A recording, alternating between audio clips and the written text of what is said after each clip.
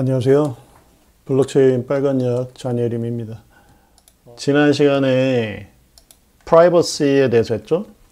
어, 프라이버시를 통해서 어, 어떤 비트코인에서 아주 아주 중요한 섹션이 있습니다. 프라이버시. 즉 개인의 사생활 프라이버시를 와 그것과 상충돼 보이는 어떤 불법 자금 추적, 공공의 이익. 그래서 어떤 공고 공익을 위한 어떤 범죄 모니터링, 그 근거, 어, 이력을 남기는 것. 이게 개인정보랑 그게 상충하는 듯한 같이 상충하는 가치처럼 보이잖아요. 그래서 이렇게 풀어내기가 쉽지가 않은데 그것을 두 마리 토끼를 다 잡는 마치 사토시 나카모토가 절묘한 방식으로 이중 지불의 문제를 풀어낸 것처럼 이 프라이버시 현대 온라인 온라인 그 life에서의 프라이버시 문제를 아주 그 기발한 방식으로 기발하고 절묘한 방식으로 똑같이 또 풀어냈다. 개인의 프라이버시도 극대화시키면서 동시에 공공의 어떤 모니터링, 어, 사회 책임을 지는 특히나 뭐 국가는 국가라든가 아니면 어떤 단체, 기업, 큰 기업, 즉 힘을 가진 어떤 그런 대상일수록 투명하고 그다음에 이런 서민들처럼 상대적으로 어떤 권력으로부터 멀어져 있고 어, 약자들, 약자들의 어떤 일거수일투족은 들여다보기가 어렵고 강자들의 행동은 백일하에 드러나는 형태의 그렇게 해서 조합을 이루는 어, 프라이버시 모델 이것이 우리가 앞으로 어, 이제 그 누릴 수 있는 비트코인 웹 3.0 비트코인과 함께 다가올 메타넷 웹 3.0의 진정한 혁신 프로젝트 중에 하나고 자 오늘은 그 다음에 이어서 할 내용은 어, 이제 자꾸 본론으로 들어가고 싶지만 오늘도 좀 쉬운 내용을 먼저 하겠습니다. 쉬우면서 많이 왜곡된 것 중에 하나인 인센티브. 자, 이제 6절 인센티브입니다. 네, 한번 읽어볼게요.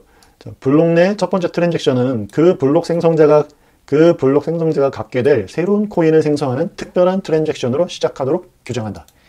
자, 이렇게 돼 있어요. 그래서 오늘은 요거를 좀 그 그래픽하게 쉽게 보여, 설명드리기 위해서 요 비트코인 아카데미에 있는 자료를 좀 가져왔습니다.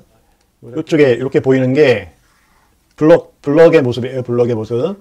자, 여기서부터 여기까지가 어떻게 돼 있나요? 블럭 header라고 돼 있고, 이쪽이 블럭 body, 블럭 body는 transaction으로 구성되어 있습니다. 자, 그러면 블럭 body에 보면은 transaction이 여기 순서가 1, 2, 3 이렇게 transaction 이제 인덱스가 이렇게 붙어 있는데, 여기 보면 coinbase라고 돼 있죠. 얘도 생긴 건 어때요? 이 네모난 게 transaction이랑 똑같이 생겼죠. 예, 그래서 transaction인데 얘도 transaction인데 이거를 맨 처음에 있는 이 transaction은 이렇게 이름을 따로 붙입니다. coinbase라고. 그래서 coinbase transaction이라고 부르고 이 녀석은 뭐냐면 대부분 다른 transaction은 어떻게 구성이 되느냐 코인 A가 코인 A를 얘 주인을 B로 바꾼다. 어떤 코인이 있어요. 코인, 코인을 이제 주인을 A에서 B로 바꾸겠습니다. 라고 하는 내용이 transaction입니다. 그런데 이 코인베이스의 트랜잭션은 그렇지가 않아요.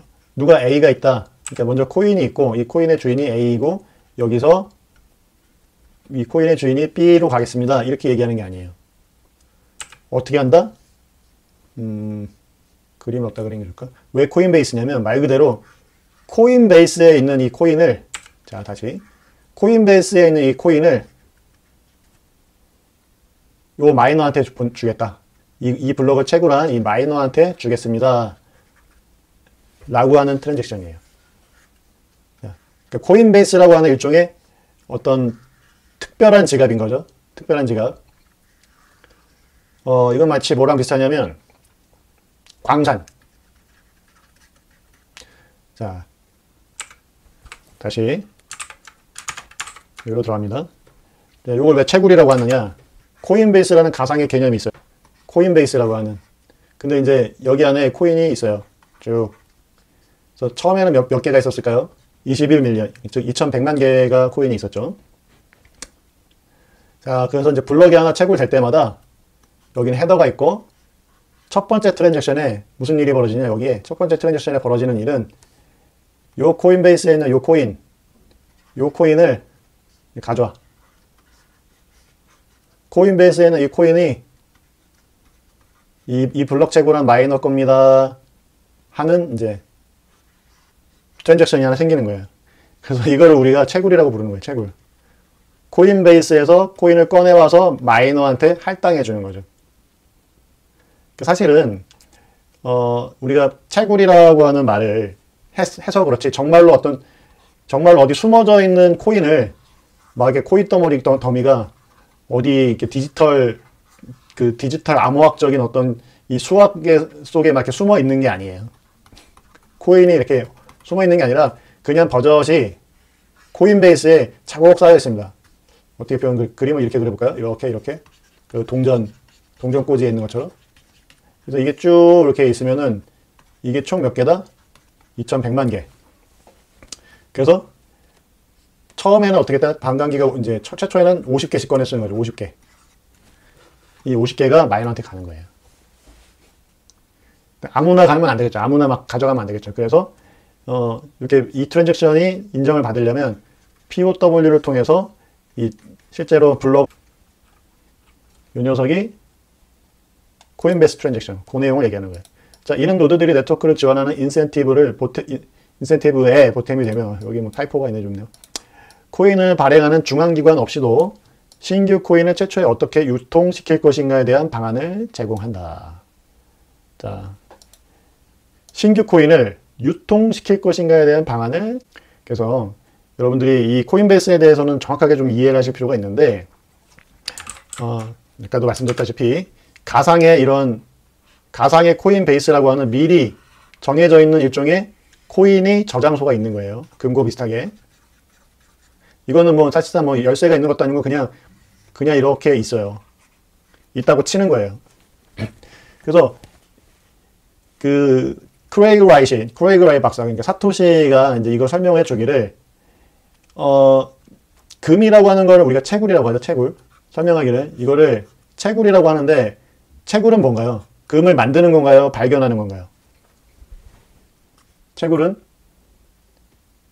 예, 앤디님 어서 오세요.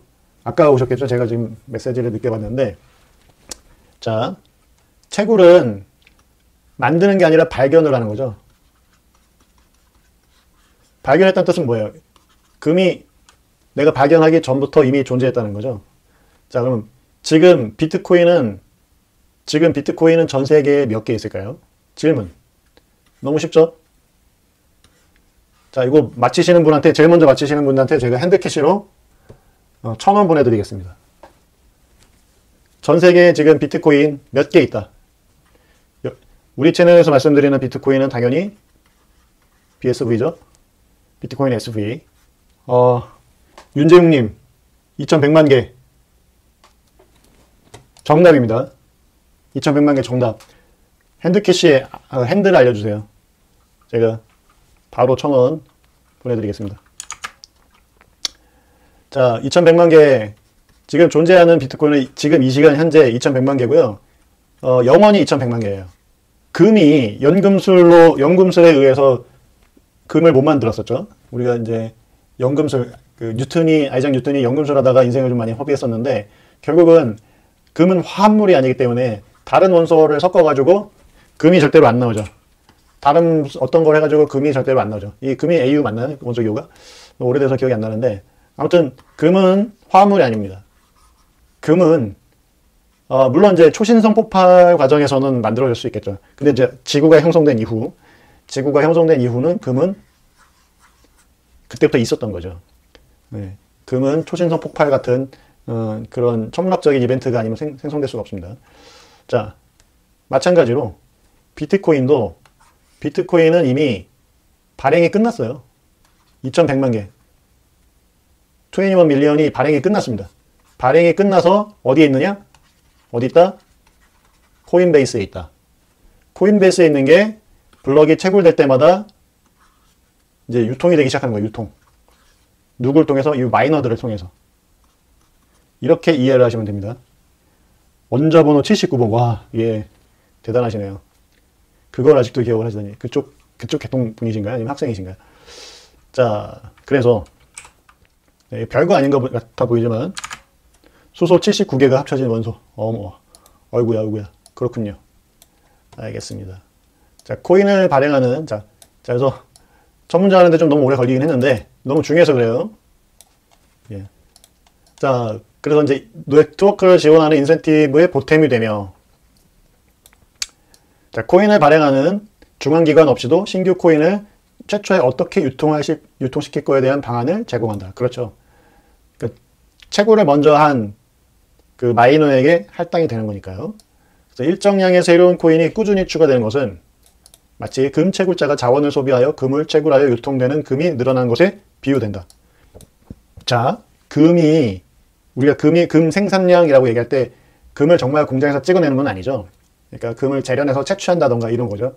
아무튼 유통되는 금이 늘어나는 것이다. 그리고 우리 경우 소비되는 자원은 CPU 시간과 전력이다. 자.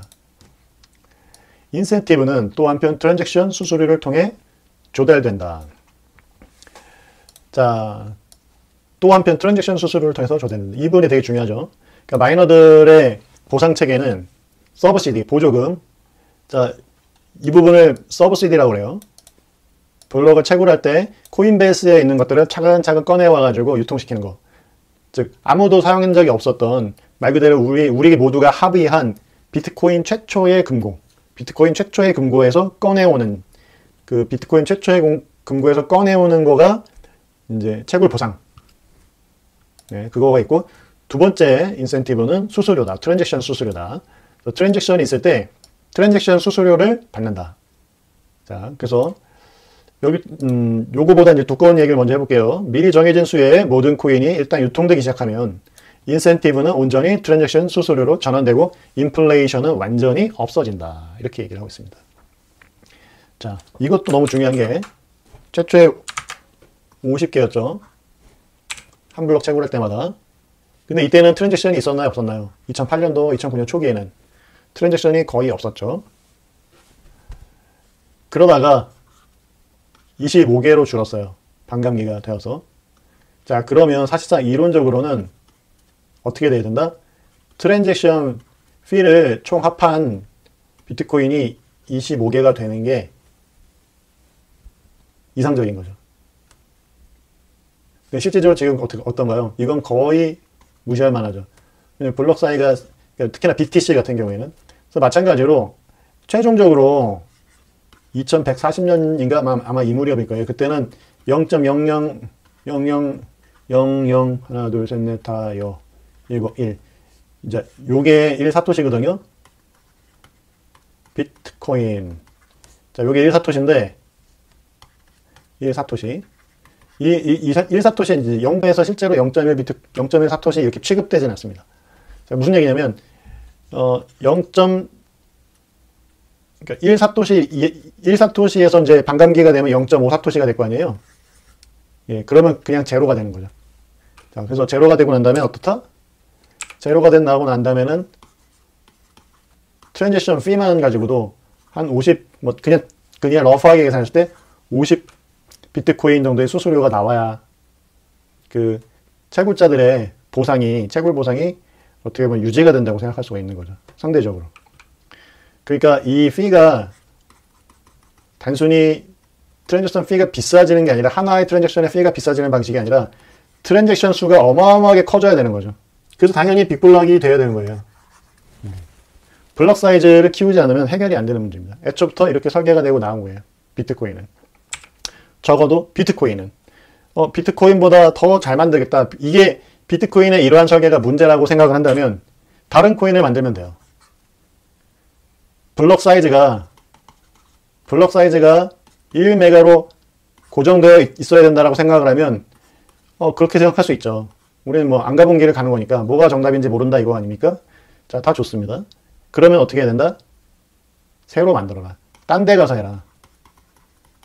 딴 데 가서 해야 되는데 어디서 합니까? 그 여기 와서 분탕질을 하고 있는 거죠. 그게 누구다? BTC. 그러니까 도둑이 와서 주인을 내쫓고 자기가 주인 행사하면서 이 비트코인을 어, 지들 멋대로 망가뜨려 놓고선 그 다음에 거래소들에게 비트코인이라고 이제 거래소들이 이 기술적인 내용 잘 모를 때 자기네들이 비트코인이라고 이 여론에서 뭐 우위를 점해서 지금 같은 상황이 벌어졌죠.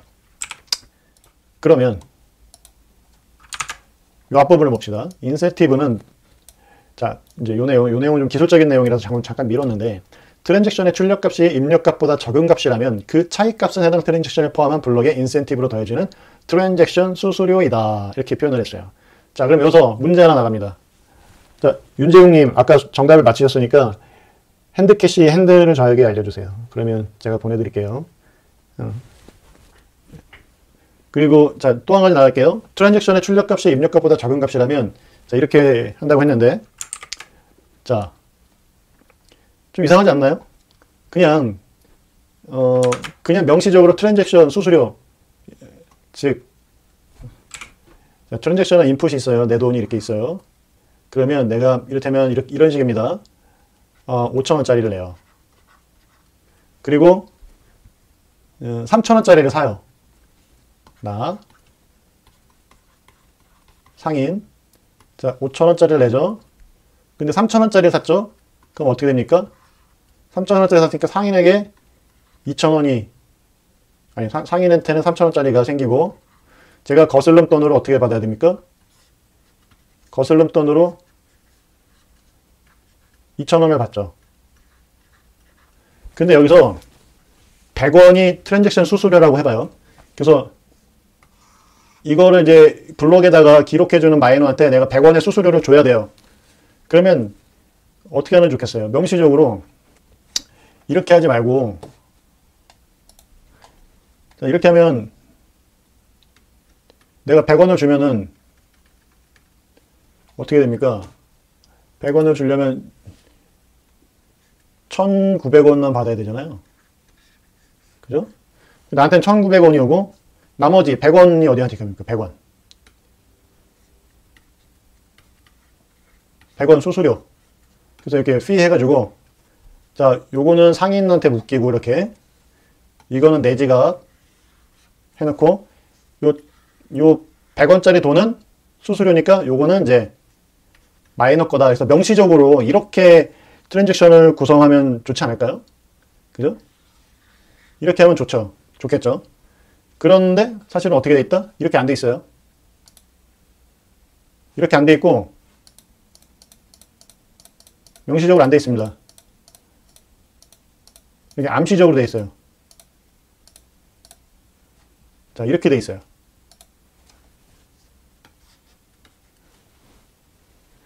자, 이렇게 하는 이유 마치 한번 생각해 보세요. 여기 지금 100원이 비죠. 네? 100원이 빕니다. 그죠? 1900이랑 3000원 더하면 5000원이 안 나와요. 4900원밖에 안 돼요. 자, 100원은 어디로 간, 100원은 이제 마이너한테 가는데 왜 이렇게, 어, 명시적으로 100원을 딱 마이너한테 주는 게 아니라 이 100원이라고 하는 게 명시적으로 주어지지 않고 이게 계산적으로 여기서 차, 여기 이 인풋이랑 요게 인풋이고요. 요게 아웃풋입니다. 얘도 아웃풋이고요. 자, 이 5천원짜리가 3천원짜리랑 1900짜리로 바뀌었죠. 그래서 5천원짜리 지폐가 하나 사라지고 디지털 지폐가 사라지고 3천원짜리 디지털 지폐가 생기고 1900원짜리 디지털 지폐가 생겼어요. 디지털 코인이라고 할게요. 자, 이게 이렇게 명시적으로 이거를 마이너한테 딱 이걸 명시적으로 이것도 아웃풋해서 주지 않는 이유는 뭐냐면 이거를 누가 채굴할 줄 모르기 때문에요. 거래 당사자가 나와 상인은 정확하게 정해져 있는데 마이너는 누가 채굴할지 모르기 때문에 정확하게 이게 아무 마이너한테 줍니다 이렇게 얘기할 수가 없습니다. 예. 여기도 그 철학이 들어가 있는 거예요. P2P, P2P 네트워크에서 이 트랜잭션을 취급하는 암묵적으로 표시하는 이 차액, 차액은 마이너한테 갑니다. 라는 그냥 약속이 있는 거예요. 약속. 그래서 요 요거를 다 이제 각각의 트랜잭션에서는 이런 내용이 없고요. 어, 이거를 모아서 base tran 그 coinbase transaction 아까 얘기했던 어딨냐 자 여기서 이쪽이죠. 예. coinbase transaction. 이 coinbase transaction에 보면 이제 이거 총합한 transaction fee, 그 다음에 블록 채굴 보상, subsidy, 보조금. 그러니까 coinbase에서 가져오는 그 보조금, 그러니까 transaction fee. 이제 그게 들어가는 거죠. 자, 여기까지 했고요. 자, 인센티브는 노드들이 정직성을 유지하도록 독려하는데도 도움이 된다라고 또 나와 있어요. 여기서도 이 도, 도움이라는 말이 매우 중요하다. 도움이 왜 중요하냐면 자, 이거를 그 기존에는 번역이 어떻게 되어 있는지 봅시다. 이 인센티브는 노드가 계속 정직하게 행동하게 유도하는 데 도움을 줄 수 있다. 도움을 줄 수 있다. 왜 그럼 도움 안 줄 수도 있나? 이런 생각이 들죠? 원부, 원본을 한번 볼게요. 인센티브. 자, 여기서도 이제 도움을 줄 수 있다라고 하는 건 이것 때문에 그런 것 같아요. 저 민철님이 자, the incentive may help encouraging those to stay honest 이렇게 해서 어 인센티브가 노드들이 지속적으로 정직하게 활동하는 것을 격려하는데 역시 도움이 된다. 도움이 될 수 있다라고 얘기했어요. 좀 더 약하죠. 아니스트하게 되는 인센티브가 그냥 메이라고 얘기했을 때 좀 약하지 않습니까? 도움이 저는 그냥 그래서 약해가지고 도움이 된다라고 번역을 했긴 했는데 어, 도움이 될 수 있다. 사실 여기에도 어, 떻게 보면 최적의 단어를 사토시는 고른 게 아닐까 이런 생각이 들어요. 왜 그러냐면 이 정직성을 유지하는 것 그러면 이 정직성을 유지해야 되는 메인 인센티브는 뭘까요? 그러니까 메인 동력원 그 블록 채굴 보상과 수수료도 역시 어, 정직하게 행동하도록 독려하는데 어, 기여를 하지만 어, 이건 그냥 도움 정도고 더 중요한 건 뭐냐면 어, 정직하지 않으면 그거는 불법이라는 거예요. 거짓 보고를 하는 것 자체가 그건 위법하고 그건 안 된다는 거죠. 도덕적으로나 법률적으로나. 훨씬 더 이거는 어, 우리가 이제 decentralized라고 했기 때문에 아무도 책임지지 않고 그 무제한의 자유를 누릴 수 있는 것처럼 사람들이 많이 오해를 하는 것 같아요. 그게 아니라는 거죠. 당연히 정직해야 되는 거죠. 우리가 우리가 사회생활을 하면은 정직한 거 정직하게 행동하는 거는 너무나 그냥 당연한 기본적인 덕목이자 의무입니다. 자, 그리고 그 수준을 또 넘어서면 그 거짓의 수준이 넘어가면 법적 책임도 지지 않습니까? 그러니까 그게 먼저 기본적인 거고 그거와 플러스 알파로 인센티브에 의해서 더더욱 정직하게 행동하는 것을 유도한다는 거예요. 만약 탐욕스러운 공격자가 정직한 노드들보다 더 많은 CPU 파워를 모으게 되었다면 그는 이를 이용해서 자신이 지불한 돈을 다시 훔쳐오는 식으로 사기를 치던지 자, 51% 어택에 관련된 여러분들이 여태까지 배운 거 다 머릿속에 비우셔야 됩니다. 그러니까 저한테 얘기 들은 거 말고요. 다른 데서 들은 거. 51% 어택이 이를테면 이 블록체인에서 아주 어, 무시무시한 어떤 공격이라고들 많은 사람들이 생각을 하는데 사실 그렇지가 않습니다. 어, 탐욕스러운 공격자가 즉 이게 뭐냐면 51% 이상의 CPU 파워를 모았을 때 그것으로 무엇을 할 수 있느냐 즉 어, 다수가 되면 뭐든지 다 할 수 있을 것 같은 착각을 주죠. 어, 그렇지가 않아요. 과반이 돼봤자 할 수 있는 거라고는 오직 꼴랑 자신이 지불했던 돈을 다시 가져오는 식의 사기를 칠 수 있다. 사실 51%가 되면 내가 뭐 진시황제라든가 이런 어떤 역사에 있는 독립군주처럼 그 네트워크 전체를 지배하면서 내가 마음대로 뭐든지 새로운 코인을 더 발행을 한다던가 어, 2100만 개가 아니라 뭐 4200만 개로 늘린다던가 아니면 남의 코인을 마음대로 내 걸로 만든다던가 아니면 적, 적절하게 처리를 해야 되는 프로세싱을 해야 되는 즉 블럭에다가 인클루드를 해야 되는 트랜잭션을 함부로 그냥 날려먹는다던가 이런 작업을 할 수 있다? 못한다라는 거죠. 그런 작업을 할 수가 없습니다. 즉 어, 제가 지금까지 예를 들은 모든 작업들은 뭐냐면 독립적으로 검증이 가능한 작업들이에요. 그것이 잘못됐다는 것을 마이너들 간의 합의를 볼 필요 없이 비트코인 네트워크 룰이 있지 않습니까? 모든 것들이 다 그 룰에 위배가 되는 거기 때문에 transaction의 어떤 순서 이런 걸 목격할 필요 없이 그 transaction 그 자체 독립적인 transaction 하나를 봤을 때 이 transaction이 valid하다, invalid하다라는 걸 알 수가 있어요. 제가 지금 그런 것들을 예를 들어 드린 거예요. 그러한 부분들은 할 수가 없어요. 아무리 51%가 아니라 99%가 된다 하더라도 왜냐하면 99%의 CPU 파워를 장악을 해서 규칙에 안 맞는 블록을 만들면 걔는 99%가 아니라 그냥 다른 체인을 만든 거죠. 그냥 다른 체인인 거예요. 그냥 다른 트랜잭션을 만든 거죠. 그러니까 비트코인 네트워크에서 99%의 CPU를 점유했다는 것은 항상 단위 트랜잭션에 대해서는 올바른 트랜잭션을 취급할 때에만 그게 성립되는 내용입니다. 그러면 하나씩 하나씩 봤을 때는 모든 게 올바른데 딱 한 가지 중지를 모아서 즉 집단 지성이 필요한 경우가 딱 한 가지가 있다. 그게 뭐냐? 분산된 P2P 네트워크에서 이벤트가 발생한 순서라는 거예요. 그러니까 이 어이구야. 자, 트랜잭션에 이 트랜잭션에 이게 밸리드하냐, 인밸리드하냐 이 부분은 하나를 봤을 때 명확한 것들은 아무 문제가 안 된다. 그런데 이중 지불의 경우에만 이중 지불에는 각각을 보면은 transaction이 다 valid예요. 다 유효한데 문제는 뭐냐면 인풋이 여기서 두 개가 동일한 인풋을 사용했기 때문에 이 두 개를 비교하면은 둘 중에 하나만 valid 해야 된다는 거죠. 하나만 따로따로 놓고 보면은 둘 다 valid한데 둘 다 유효한데 두 개를 같이 놓고 봤을 때는 둘 중에 하나만 valid 해야 된다. 그때 누가 이긴다? 먼저 발견된 거. 먼저 발견된 게 이긴다. 자, 그래서 네트워크에서 모두 모여가지고 합의를 이루어야 되는 거. 자, 집단지성을 발휘해서 어떤 게 먼저 일어났어 라고 하는 거에 대해서 투표를 하는데 그 투표 과정에서 이 순서를 왜곡하는 것만 할 수 있다. 라는 것이죠. 자, 그래서 뭐를 한다? 순서를 조작해서 할 수 있는 것은 오로지 자기 거, 자기가 지불한 돈을 다시 훔쳐오는 사기밖에 못 친다. 라는 거예요.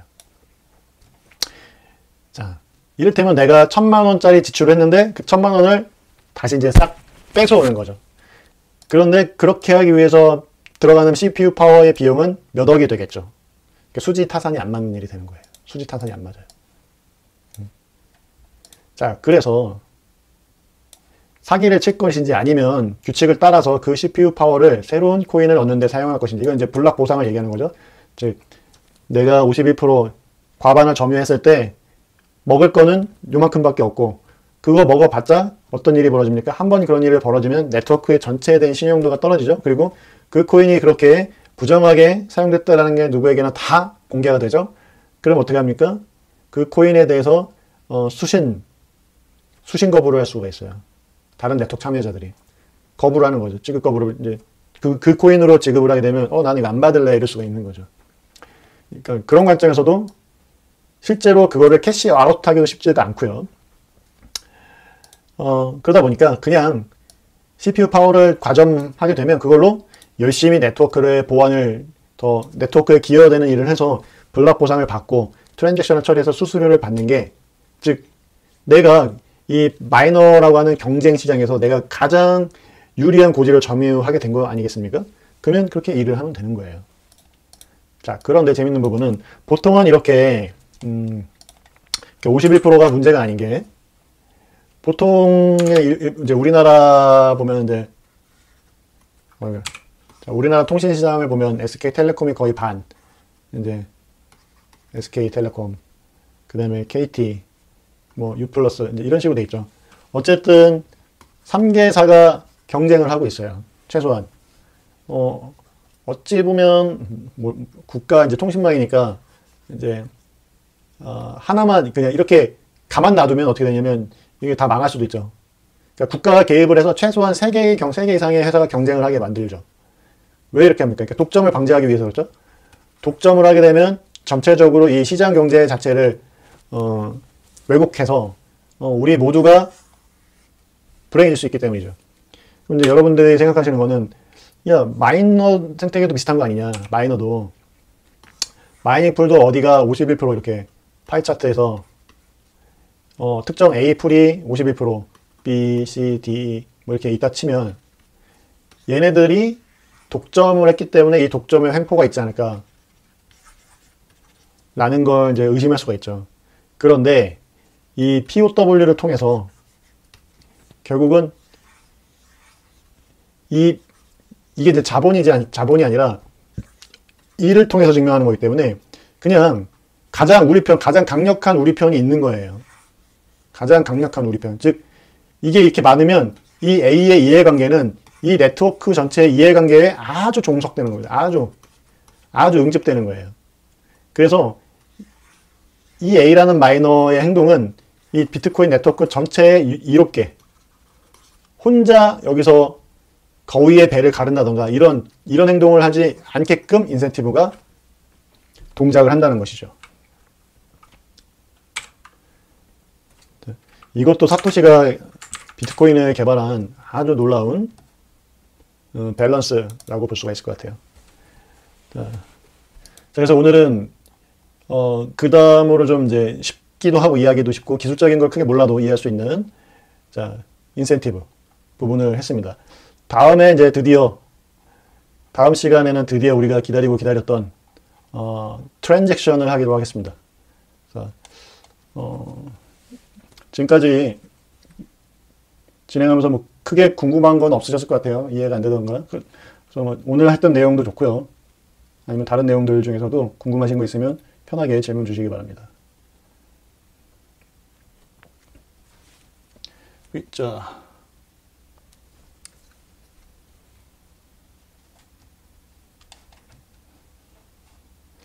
자, 제가 오늘은 어, 새로운 장비도 좀 장난을 했어요. 그래서 이렇게 뭐라고 하죠? 태블릿이라고 하나 타블렛?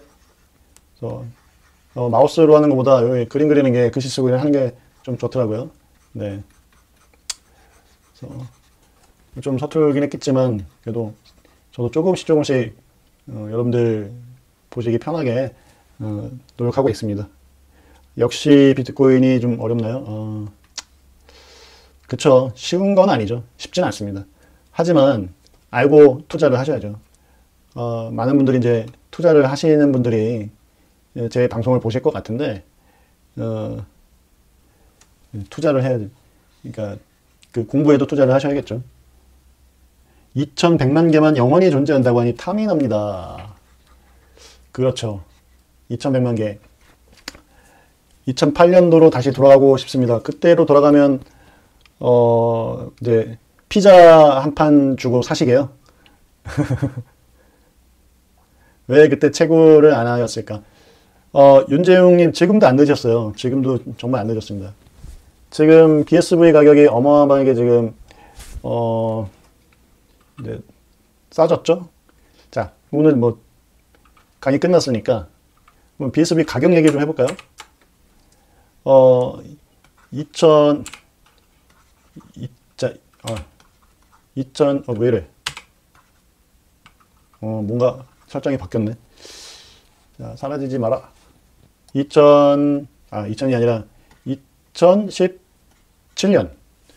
요때쯤, 어, 아니요, 아니요. 100만 원어치 사놓으려고요. BSB가 특정 국가에서는 채굴이 안 되나요? 어, 특정 국가에서 채굴이 안 되는 게 무슨 뜻이죠? 그러니까 뭐 채굴하는 회사 자체가 많지 않아요. 채굴하고 있는 나라가 많지 않고요. BSB를. 그러니까 BSB는 지금 계속 발전을 했기 때문에 BSV를 채굴하려면 좀 기술력이 좀 많이 필요합니다. 기술력이 좀 필요하고 storage도 좀 많아야 되고요. 아, 물론 이제 채굴에 두 가지가 있는데 지난번에 그 double hash double hash 빤스런 그 영상을 보시, 보시 면 이제 아, 실 텐데 어, 채굴에는 크게 두 가지가 있어요. 하나는 validation validation이 있고 또 하나는 이제 POW 해가지고 그 hash nonce를 찾는 거예요. 아, 이제 요거는 진짜 말 그대로 그 이 절묘한 키 값을 찾는 거예요. 근데 이제 요거를 분리할 수가 있다. 이걸 분리할 수가 있다. 그래서 어 validation을 하게 돼서 full node를 운영하려면 4기가짜리 그 디스크를 매 10분마다 이렇게 할 수가 있어야겠죠. 그러면 1시간이면 6, 이제 6개니까 4륙 24. 24, 1시간에 24기가. 그럼 488인가 하루에? 아무튼, 하, 그, 하루에 거의, 하루 이틀 만에 이제 테라만큼씩 쭉쭉쭉 늘어나야 되는 그 디스크를 관리를 해야 되는 게 있죠. 기술적으로. 어, 그러니까 이 transactional processing 하려면. 반면에 이제 이 채굴만 하려고 하면은 채굴은 SHA256만 하면 되기 때문에 어, 요거는 이제 ASIC miner만 가지고 그 단순히 채굴, 채굴하는 건 Merkle tree만 가지고 채굴을 하면 되거든요. 예, 그래서 이제 얘네들은 이쪽 transaction processor가 넘겨준 Merkle tree를 가지고 즉 header 값만 갖고 그 nonce를 찾으면 돼요. 이렇게 분업화가 될 수 있고 요 녀석들은 이제 이렇게 하면은 요걸 제대로 이해하면은 사실 요, 요 채굴은 지금 다른 뭐 어디서든 할 수가 있죠. 요 채굴만 하면 다만 이제 이 채굴을 하는 것과 transaction processor의 이 예, 그런 문제가 좀 있는데 지금 뭐 어, 다른 체인들은 그냥 블록체인이 어떻게 동작하는지에 대한 이해가 없다 보니까 그런 걸 못하는 것 뿐이고요. 어, 그 외에 뭐 이제 법률적으로 막혀 있고 뭐 이런 부분은 제가 잘 모르겠습니다. 어, 그런 관점에서 질문하신 건지 어떤지 이제 그 내용은 잘 모르겠는데, 어,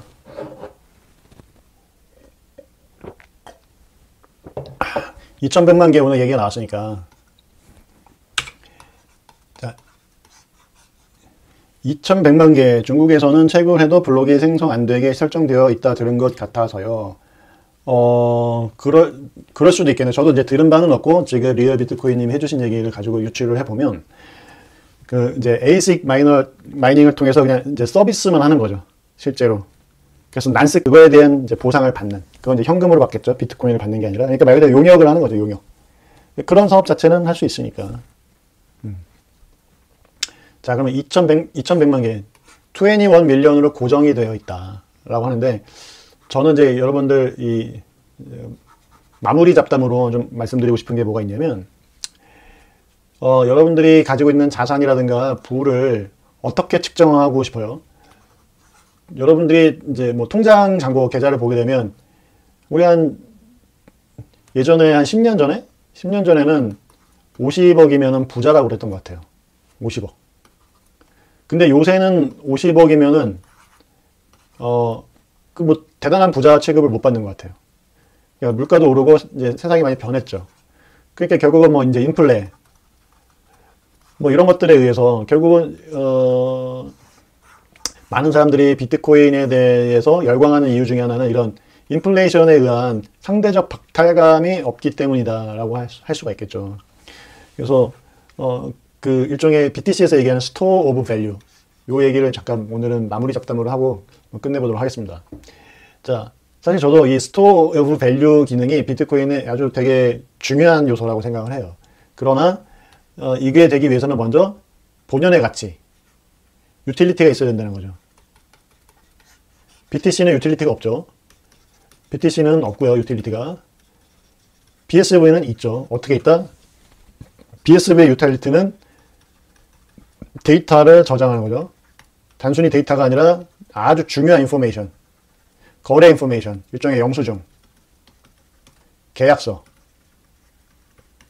등. 비즈니스에서 이제 할 수 있는 어떤 공증, 공증, public 공증 어, 저장소 같은 역할을 할 수가 있겠죠. 그래서 이 비트코인이라고 하는 저장소에 이 entry에 자기의 문서를 저장해야 하는 needs가 있고 이 니즈, 이 비용은 뭘로 내야 된다? 비트코인으로 내야 된다. BSV를 내야 되기 때문에 그 본연의 이 화폐의 수요가 발생합니다. 그러면 이 수요를 기반으로 가치를 갖게 되니까 이런 이른바 본연 가치, 즉 intrinsic value라고 하죠. 그러면 이, 이 본연 가치가 생기면 그때부터는 가치 저장을 할 수가 있게 돼요. 근데 여기서 이 가치 저장은 BTC가 얘기하는 그런 가치 저장과는 이제 비교가 안 되는 진, 진정한 가치 저장이 될 수가 있는데, 자, 2100만 개면, 자, 2100만이라고 하는 숫자가 고정되어 있으면, 어, 문제가 있지 않느냐. 라는 생각을 할 수 있는데, 자, 우리가 살아가면서 절대 안 변하는 숫자가 하나 있어요. 그게 뭐냐면, 1 또는 100입니다. 자, 확률을 나타낼 때 이걸 이제 1이라고 하고요. 요거는 비율을 나타낼 때 100이라고 그래요. 사실은 요거 같은 얘기죠. 꽉 차 있는 거를 얘기할 때 1이나 100이라고 얘기를 하죠. 이건 안 변해요. 왜 그렇죠? 상대적인 거니까. 자, 이 세상에 여기 이제 오늘 누구 누구 할까요? 오늘 오늘 윤재웅님 오늘 저기 정답을 제일 먼저 맞추신 자 Y님이라고 할게요. 자, 이 세상에 Y님이랑 또 다른 X님이랑 두 분밖에 안 살아요. 세상에 단 둘만 살아요. 그리고 재화가 여기 이제 먹을 빵이 빵이 세 조각이 다예요. 그러면 이 빵 하나에다가 우리가 하나에다가 100원이라고 해서 토탈 마켓캡을 300원이라고 하든 공 하나 더 붙여서 3,000원이라고 하든 이게 의미가 있나요? 그죠? 이게 의미가 없죠. 여기 가격을 얼마 붙였는지 사실 의미가 있나요? 의미 있는 건 뭔가요? 누가 빵을 두 개를 먹을 것이냐 이게 의미가 있죠. 자 무슨 얘기냐면 전체 재화는 이게 빵 이게 세 개가 다예요. 그러면 나 빵 하나, Y님 빵 하나, X 빵 두 개. 자 여기다가 금액을 어떻게 붙이는 게 효율적일까요? 저는 이제 이런 생각을 해봤어요. 우리가 돈이라고 하는 부분은 이제 법정화폐라든가 이런 거는 인플레이션이 계속 왔다 갔다 하고 하니까 실질적으로 그 숫자가 계좌에 고정되어 있지만 사실은 상대적인 사회적인 상대적 가치는 매번 변하는 거죠. 그래서 아 이, 게 제대로 된 게 아니겠다. 그럼 어떻게 한다? 나는 3분의 1을 가지고 있다. x는 3분의 1을 가지고 있다.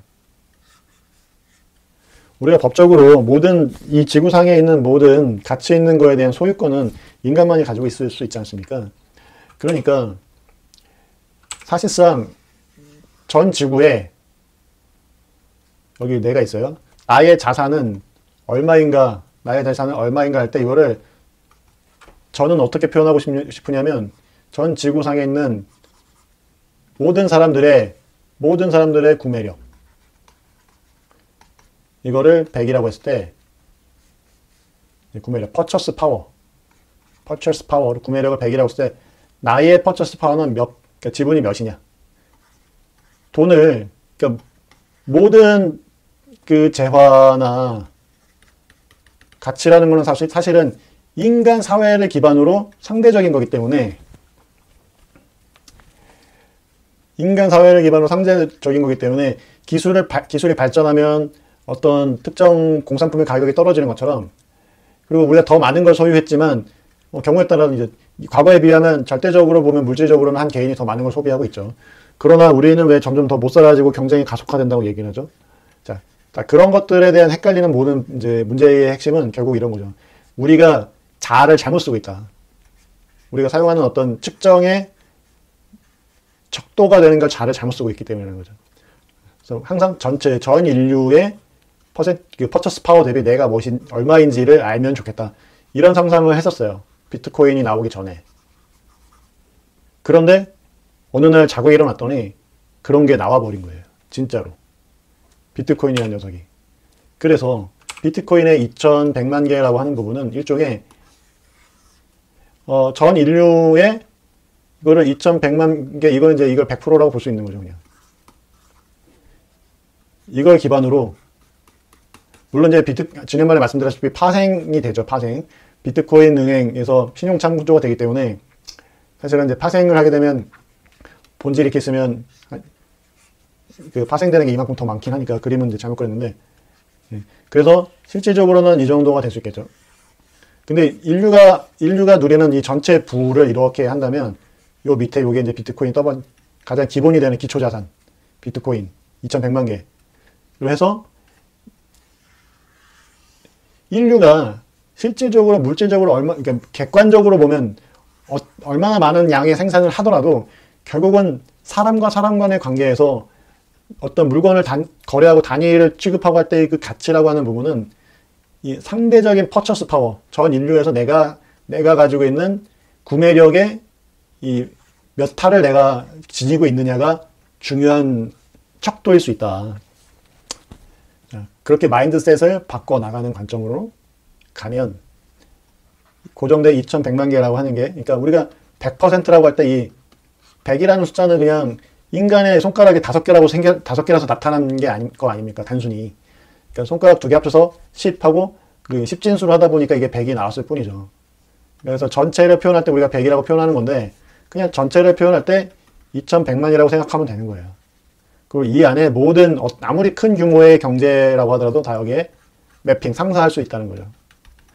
어.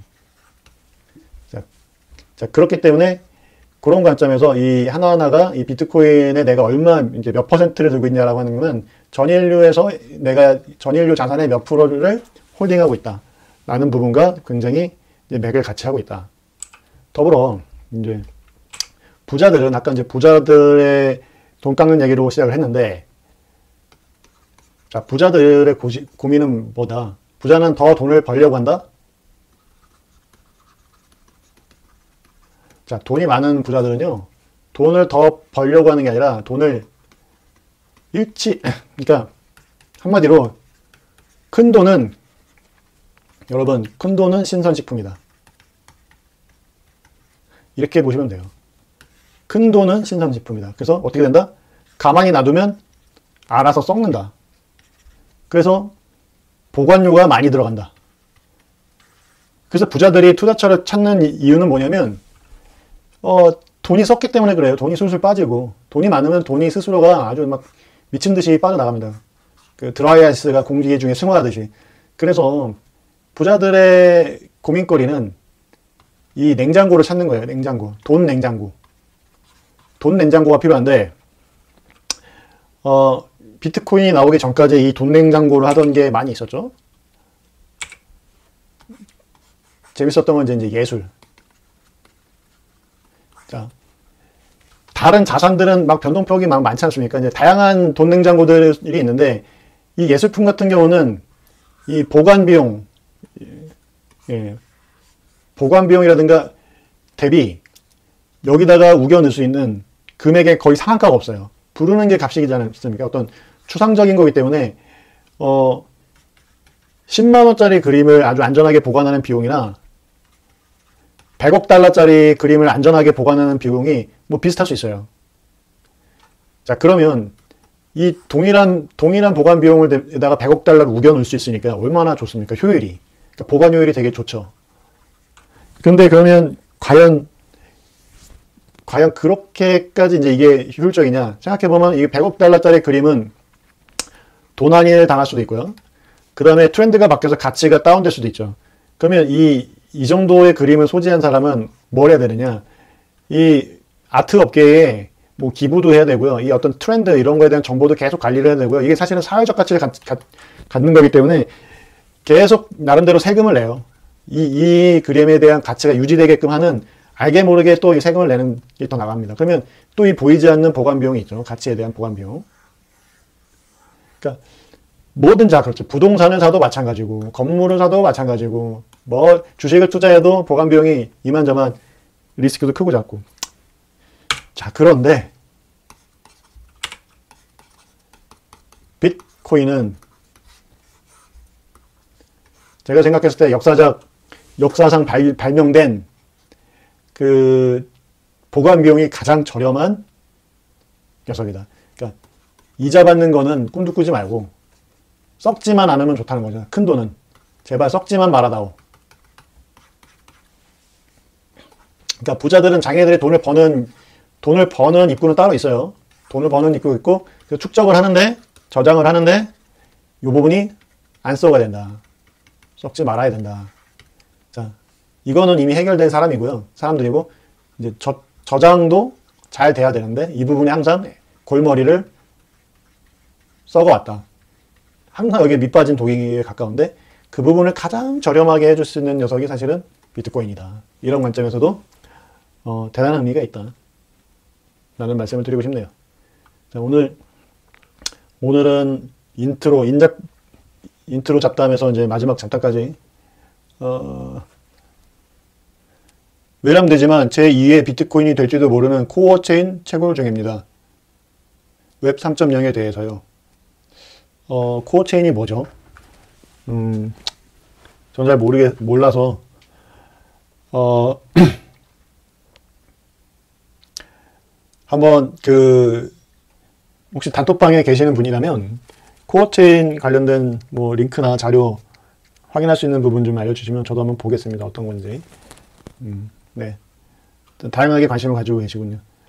자, 그래서 오늘은 어, 오늘은 잡담까지 해서 여, 어, 오늘 방송은 여기서 마치도록 하겠습니다. 특별한 예, 질문이 없으면 다들 늦은 시간, 토요일 날 늦은 시간 예, 또 집중해가지고 방송 들어주셔서 감사드리고요.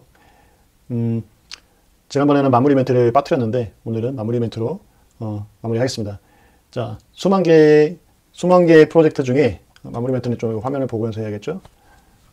수만 개의 프로젝트 중에 어, 정상 동작하는 거는 오직 비트코인 하나다. 어, 그리고 비트코인은 smart contract가 애초부터 됐다. 이제 와서 이더리움 보고선 뒤따라가는 게 아니고 처음에 2008년, 2009년 처음에 버전 0.1 나올 때부터 smart contract 기능이 완벽하게 탑재된 상태로 어, 나왔다. 어, 이더리움은 느리지만 가장 빠른 블록체인이 비트코인이다. 알려진 바와 다르죠? 그리고 알려진 바와 달리 비트코인은 Turing complete하다. 즉 아무리 복잡한 연산, 비즈니스 계약, smart contract 다 구동시킬 수 있다. 비트코인에서만. 자, 그런데 지금까지 얘기한 비트코인은 여러분들이 알고 있는 거래소에서 거래되는 BTC, 그것이 아니다. BTC는 핵심 비트코인에 대한 정의, 이 디지털 자산이라고 하는 부분은 실물로 존재하는 것이 아니기 때문에 애초에 무엇이라고 우리가 정의한 숫자에 불과해요. 그 숫자에 대한 정의, 그걸 다루는 규칙, 그걸 프로토콜이라고 하는데 그 정의와 프로토콜을 심각하게 변경한 녀석입니다.